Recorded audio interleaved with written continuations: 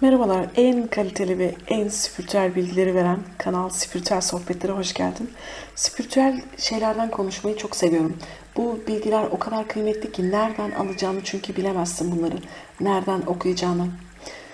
Kitapların arasını karıştırırdım. Bana yeni bir şey öğretecek bir kitap bulmak benim için çok kıymetliydi. Günümüzde bunlar YouTube'da daha fazla. O yüzden YouTube'da bile bunlara ulaşabilmek çok kıymetli. Şimdi şöyle bir soru geldi. Bunu yanıtlamak istiyorum. Yine Reiki ile alakalı. Bir danışanım dedi ki kendi ağrımı bile kesemiyorum hocam dedi. Kendi ağrımı geçiremiyorum. Şimdi dedi ben başkasının ağrısını nasıl geçireyim? Yani hoca olmak istiyor. Hani kendisini başkasına şifa yapmak istiyor. Ama diyor ben korkuyorum diyor. Daha ben kendi baş ağrımı, kendi oram buram ağrıyor. Kendi ağrımı bile geçiremiyorum. Başkasına şifa yapsam onun ağrısını geçirebilir miyim dedi. Hani kendine yeterli değil ya, kadın korkuyor, kendime yeterli değilim diyor. Ben eksiğim, öyle hissediyor. Eksik olduğu için başkasına hani kendimi tamamlamadan daha önce kendime şifa yapmam gerekmez mi? Başkasına şifa yapmayı bırakıp sadece kendime mi şifa yapayım? O tür bir soru. Hı hı. Ve şimdi bu sorunun yanıtını şöyle yanıtlayabilirim. Hiç de öyle düşünmüyorum. Nasıl? Reiki'de enerji sistemlerinde şunu gördüm. Aşkla ilgili problemin varsa, aşkla ilgili sorunu olan insanlara, insanlar için aşkını şifalandır. Parayla ilgili problemin varsa, para problemi olan insanların para kapısını şifalandır. Fırsat, şansla ilgili problemin varsa, şans sorunu yaşayan insanların şans kapısını şifalandır sağlıkla ilgili problemin varsa insanların sağlığıyla ilgili onlara şifa yapmanı tavsiye ederim. Diyeceksin ki kelin ilacı olsa kendi başına sürer. Benim ilk önce kendimi şifalandırıp sonra onlara şifa yapmam gerekmez mi? Yok, değil. Neden biliyor musun? Gördüğüm şey şu. Ya öyle güzel bir şey ki öyle güzel bir şey. Bunu deneyimlerimden anlatıyorum. İşte kitap bilgisi falan değil bu. Kuru kuruya öyle bir bilgi değil. Hani yaşanmış bilgi her zaman çok kıymetli ya. Hayatımda kendi yaşadığım bilgileri damıtıp özünü çıkartıp onları sunuyorum bu videolarımda.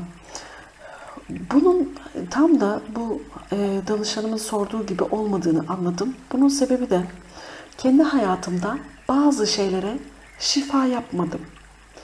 Bunun için başka insanlara şifa yaptım. Ama başka insan, insanlara şifa yaptıkça kendi hayatım rahatladı, güzelleşti, kolaylaştı. Kimin duasıdır, kimin sevabıdır bilinmez. Kendi kapılarım açıldı. Bu herkes için öyle. Hani benim bir sürü öğrencim var, bir sürü de hoca öğrencim var. Öğrenci yetiştirdim ve sonra hocalar yetiştirdim. Dolayısıyla o hocaların yaptığı e, şifalardan da haberdarım. Çünkü insanlarla iletişimini kopartan bir insan değilim. Yıllar sonra bile bana yazdıklarını okuyorum ki çok seviyorum bunları. Çok seviyorum. Mailleri okuyorum. Ondan sonra gelişimlerini bana yaz diyorum. Bilerek söylerim çünkü bunu. Çok da severim böyle şeyleri. İnsanlar bana yazıyor. Hocam şöyle şöyleydi benim aşk problemim vardı biliyorsunuz. İşte aşk problemi olan insanlara ben şifa yaptım. Şöyle şöyle şöyle güzel gelişmeler oldu ya da kız acayip parasız e, yoksunluk bilinci var. Öyle bir bilinçle gelmiş. Ondan sonra hatta ve hatta negatif bilinçaltı kalıpları parasızlıkla alakalı, yoksullukla alakalı bayağı bir dolu. Yoksulluk bilinci olan, parasızlık çeken insanlara, para problemi çeken insanlara şifa yaptığını söylüyor ve kendi kapısının kendine yapmıyor bak, başkasına yapıyor. Kendi kapısını çok güzel şekilde olmaz yerlerden paralar geldiğini söylüyor. Yaşadım bunları. Keşke e, şu bana gelen maillerin yüzde birini YouTube'a yazsalar da hani burayı okuyan insanlar yorumları da okuyor ve onlara da ilham olsa. Asıl e, senin sana ilham olması için bunu kıymetli buluyorum. İşte bu yüzden sadece kendimize şifa yapmamız yeterli ve bununla birlikte başkasına şifa yaptığımızda aslında kendimizi ekstra ekstra ayrı bir zaman ayırmamız da gerekmiyor. Ben e, çok sevdiğim bir şey var benim. Şimdi bazı videolarımda söyledim bunu ama insanlar ya unutuyor ya işte videolar arasında es geçiliyor ya da dikkatten kayboluyor işte. Öyle bir şey. Şimdi şöyle bir şey söylemiştim Reiki soruları yanıtlarında. Birine şifa yapacaksam, kendime şifa yapacaksam hangi konuda olsun en azından birkaç kişiye şifa yapıyorum. Nasıl biliyor musun? Hani elime bir kağıda alıyorum kızımın, kocamın adını hemen yazarım. Bu iki kişiyi sonra sevdiğim birkaç kişiyi yazarım altına ve onlara şifa yaparım. Zaten onlara şifa yaptığımda kendim de şifalanıyorum. Yani sadece kimseye yapmadan kendime şifa yapmak bana bencillik gibi geliyor. Çünkü onlara şifa yaptığımda kendime de geliyor ya. Ekstra kendime şifa yapmama gerek yok. Evet böyle. Onun için e, dolayısıyla bu çok tatlı bir sistem. Reiki sevmemin o kadar fazla sebebi var ki, o kadar fazla sebebi var. Yani hayatı kolaylaştıran bir sistem ya. Düşünsene başkasına şifa yapıyorsun, kendin de rahatlıyorsun. Başkasının kapısını açıyorsun, senin kapın açılıyor. Başkasına fırsat kapısını açıyorsun, senin fırsat kapın açılıyor. Harika bir şey. Bunun birçok açıdan güzel yararları var. Nedir? Manevi doyumu var. Başka birisi yararlandığı zaman sen yararlanıyorsun.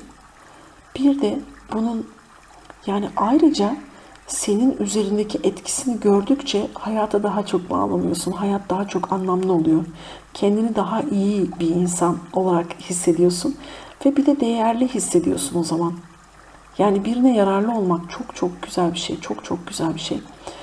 Burada aklıma gelmişken söyleyeyim. Hani mesela e, ben kendi yaşam deneyimlerimi anlatmayı burada çok seviyorum. Şeyde günlük yaşam deneyimlerimi ya da bu videolarımı çekerken hep meleklerin beni yönlendirdiğini düşünüyorum. O kadar o kadar o kadar sevindiğim bir şey var ki. Kadına birkaç gün, belki 15 günü geçmiştir.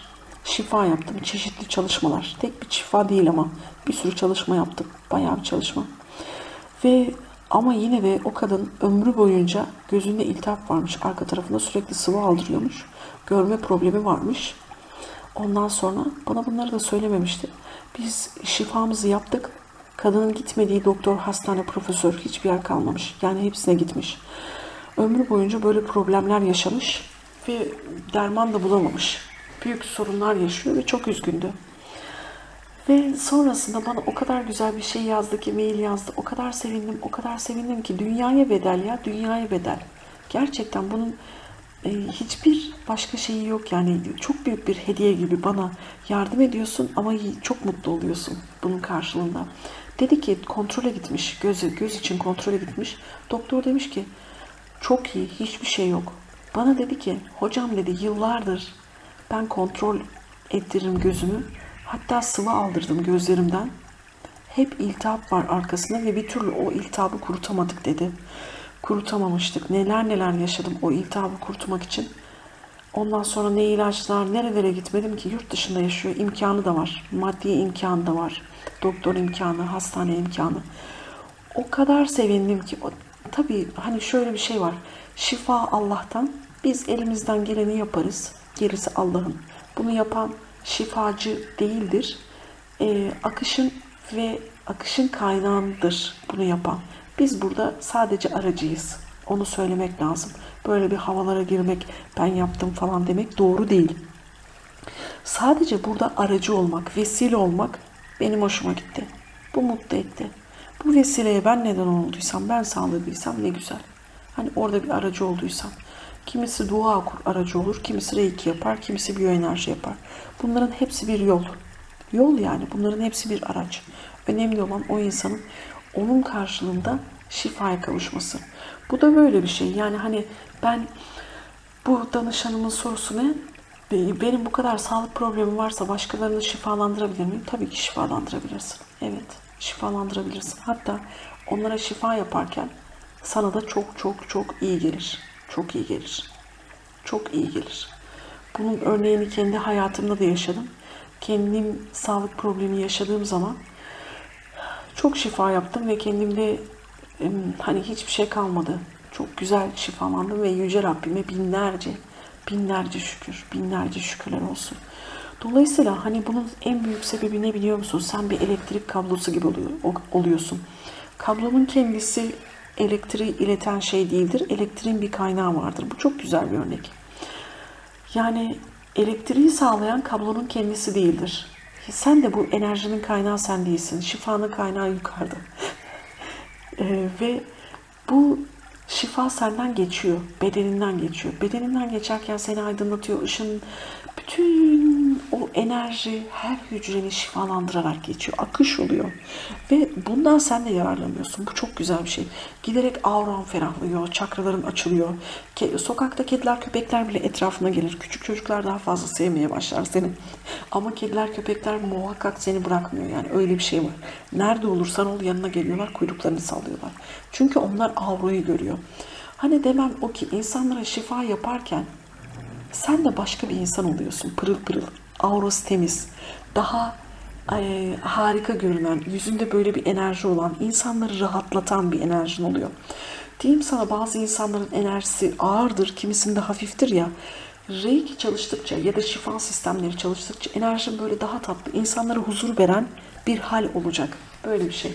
O yüzden bu danışanımın sorusunu kısaca sonlandıracak olursam şunu diyebilirim. Hocam benim bir sürü sağlık problemim var. Ben nasıl şifa yapacağım? İlk önce kendimi şifalandırmam gerekir mi? Sen Ayşe'yi, Fatma'yı, Veli'yi, Ahmet'i şifalandırırken çok iyi şekilde göreceksin ki kendi mide ağrın, baş ağrın bunların hepsi rahatlamış. Daha iyisin. Daha iyisin. Bunu çok iyi göreceksin. Ve bu çok kıymetli bir şey ve benim Reiki'de ilerlememi sağlayan en önemli şeylerden bir tanesi bu oldu. Evet. Bunların her biri kıymetli spiritüel mevzular. Bunların her biri enerjinin değişik versiyonları. Senin de en yüksek versiyonunda yaşamanı ve sözleşmeni gerçekleştirmeni niyet ederek sevgilerimi sunuyorum güzel insan.